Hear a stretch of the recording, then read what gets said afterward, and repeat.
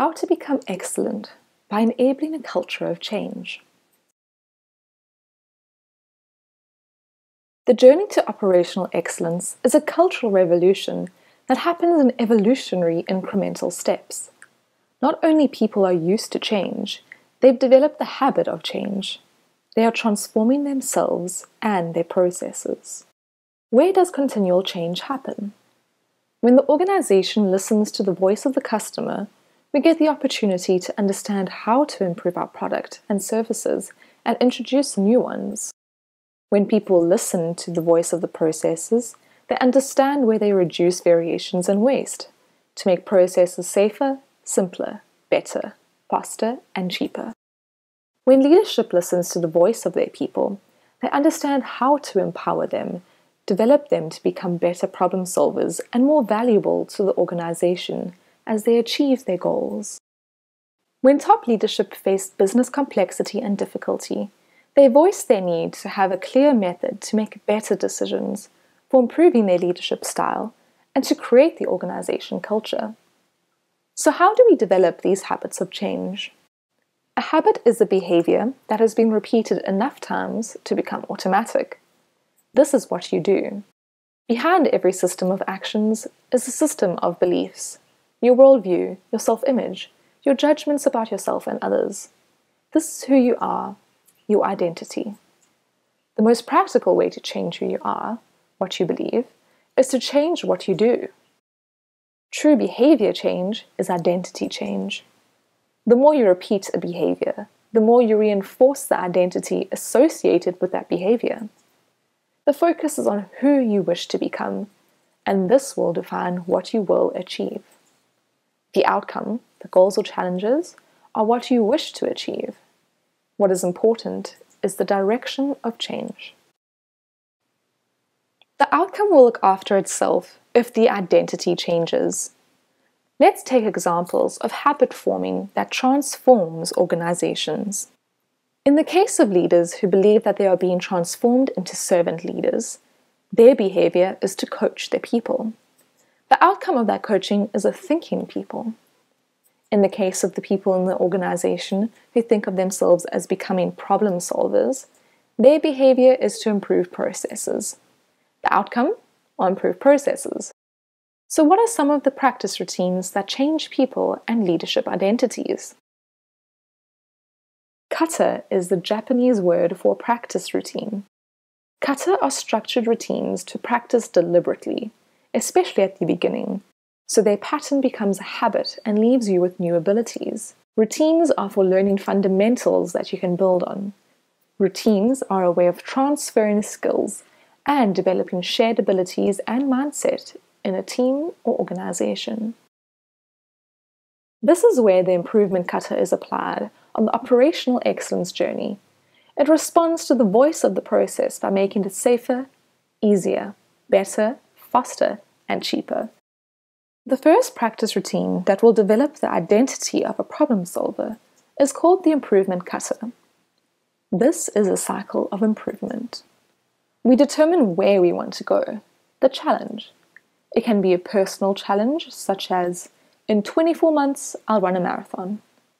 Or a business one, for example, we'll increase new product sales to 20% of total sales in 18 months. From the outset, the challenge seems almost impossible to achieve. We need to understand where we are now. That is the current condition. Then we define the next short term goal that will connect the current condition to our challenge. It is the next target condition. Now we make our way towards the target condition. We can't see too far in the future. There is a limit to our knowledge we push the threshold of our knowledge every time we take the next step towards the target condition. On our journey, we find unforeseen issues. They are obstacles. We don't go around the obstacles, we eliminate them. Since we don't usually have a solution, we experiment until the obstacle is removed. Every time we experiment, we learn. And this is how we push our threshold of knowledge toward the target condition. When we reach it, we decide on the next target condition, and again until we meet our challenge. Then we start again with a new challenge. Actually, it isn't that simple, and this is how the reality looks like. Unknown obstacles await us, and we don't see them until we experiment at our current knowledge threshold. The improvement kata gives us confidence that we'll achieve our target condition and eventually the challenge. We know how to do it using the plan, do, check, and adjust cycle. We progress through continual experimentation. This transforms our identity. We become problem solvers. The improvement kata looks like a lot of work. How does an employee actively reach for her professional goals, that is, her challenges and associated target conditions? In the daily work rush, the default mode for any employee is usually to work on urgent operational matters. They are stuck in the urgency trap. There isn't much time, or time at all, to focus on important activities that will enable employees to achieve professional goals. There is little appetite to overcome the difficulty of learning new skills that will lead to process improvements when they are facing ongoing work pressures, monkeys clinging on their backs unless there is both an incentive and ongoing support. The only person who can continually support the learner to develop a scientific thinking mind is her manager, her coach. With the coaching kata, the coach will support the learner to overcome her mistakes, discomfort, and setbacks that invariably come when learning new skills and dealing with real life obstacles. The coach will provide procedural guidance to accompany the coachee to achieve challenging real target conditions on her way to become a thinking person. The coach will then share the coachee's success. Giving people a certain degree of control over their work fulfills the need for freedom and provides opportunity for taking joy in work. As a footnote, the coaching kata is specific to the improvement kata and not a general mentoring practice. This is where the coaching kata is applied on the operational excellence journey. It responds to the voice of the people. It enables leadership to empower them and become a thinking people. In the early stage of the coaching engagement, the coach will use the five coaching routine questions at every PDCA cycle the coachee will execute. They are What is the target condition? What is the actual condition? What obstacles do you think are preventing you from reaching the target condition? What is your next step? And what do you expect? How quickly can we go and see what we have learned from taking that step? Over time, as the coach internalizes the scientific thinking approach, she develops her own style. Yet the fundamentals remain the same, accompanying the coachee to develop an experimental approach to learn and eliminate obstacles. We've seen how the coaching kata enables development of the people in the organization. But who will support the top leadership to develop the habit of coaching and the scientific thinking themselves? The job of executives is taxing enough. They need support to make sense of business complexity and difficulty.